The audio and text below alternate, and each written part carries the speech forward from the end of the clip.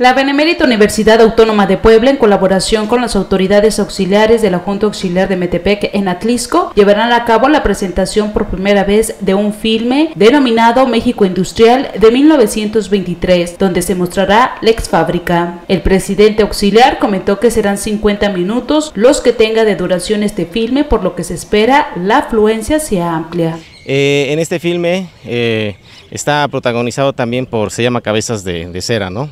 La, música por Cabezas de Cera. Y bueno, es un filme que nunca más, nunca se ha pasado y también está integrando por parte del Museo de, Metepec, el IMSS. Es en la Casa de Cultura de Metepec, lo que era antes el Cine Nacional, y empieza a las 6 de la tarde.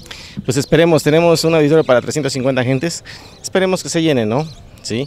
Eh, está convocando la UAP, nosotros también estamos haciendo la invitación, ¿sí? somos de Metepec, y lo que me da gusto es que se manifieste esta cultura dentro del pueblo y también para las personas que les interesa en, en el exterior. Enfatizó que actualmente se busca rescatar algunos sitios para que las próximas generaciones conozcan el emporio textil con el que se contó en Atlisco. De hecho, sí, estamos en pláticas con el doctor Castellanos, sí, y también con algunas personas que estuvimos en pláticas el día de ayer precisamente, para rescatar esa cultura de Metepec. Tenemos algunos espacios que todavía pueden ser rescatados, sí, y en este sentido, pues plasma todo lo que fue el emporio textil de la ex fábrica de Metepec.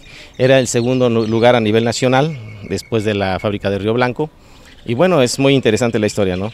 También estamos pensando hacer un libro, en sacar una edición de un libro en el cual se manifiesta todo lo que es la historia desde los comienzos de la fábrica de Metepec hasta su cierre en 1967.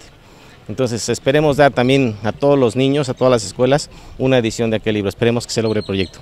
Así es, por eso queremos hacer este libro, porque ya con el libro todos van a saber qué es el pueblo, de dónde venimos, cómo se formó y hasta su estado actual, ¿no? Cabe mencionar que el filme México Industrial de 1923 se expondrá a partir de las 6 de la tarde en las instalaciones de Casa de Cultura el próximo 14 de mayo.